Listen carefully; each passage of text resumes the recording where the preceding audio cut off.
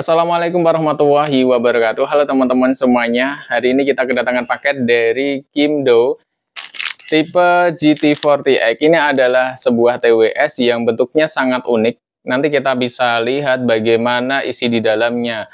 Nah kita lihat dulu Ini bungkusnya Bungkus plastik seperti ini Plastik zipper ya teman-teman. Terus kemudian uh, ini kelihatan dari luar karena memang plastiknya transparan. Langsung aja kita buka bagaimana isinya, apa saja yang kita dapatkan. Nah ini dia teman-teman ya, barangnya. Nah ini sudah dikasih gantungan seperti ini ya teman-teman ya. Namun sebelumnya ini sudah saya pasang sendiri ya gantungannya ya, karena sebelumnya juga saya uh, dengarkan bagaimana hasil yang dikeluarkan oleh TWS tersebut. Nah, nanti akan kita bahas. Terus kemudian apa lagi ya? Buku petunjuk. Terus kemudian kabel cas ya teman-teman. Ini adalah kabel cas model Type C ya. Model Type C teman-teman. Oke. Nah, ini ya teman-teman ya kita lihat ya ini yang saya katakan unik ya tadi ya. Ini yang saya bilang unik.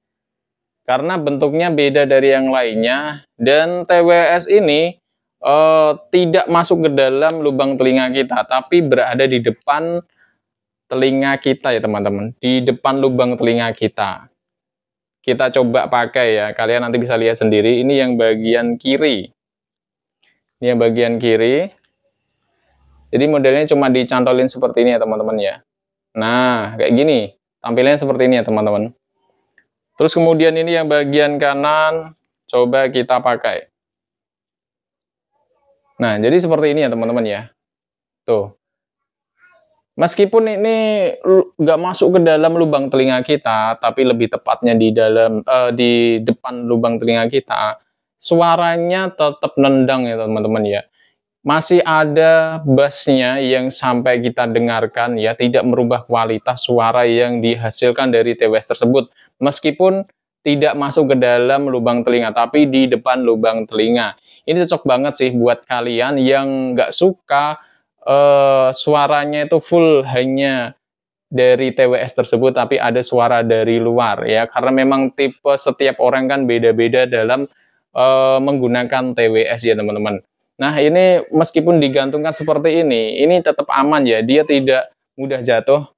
Tuh, saya geleng-geleng seperti ini pun dia tidak mudah jatuh ya teman-teman ya. Tetap presisi untuk penempatannya pun menyesuaikan dengan telinga kita, baik kanan maupun kiri.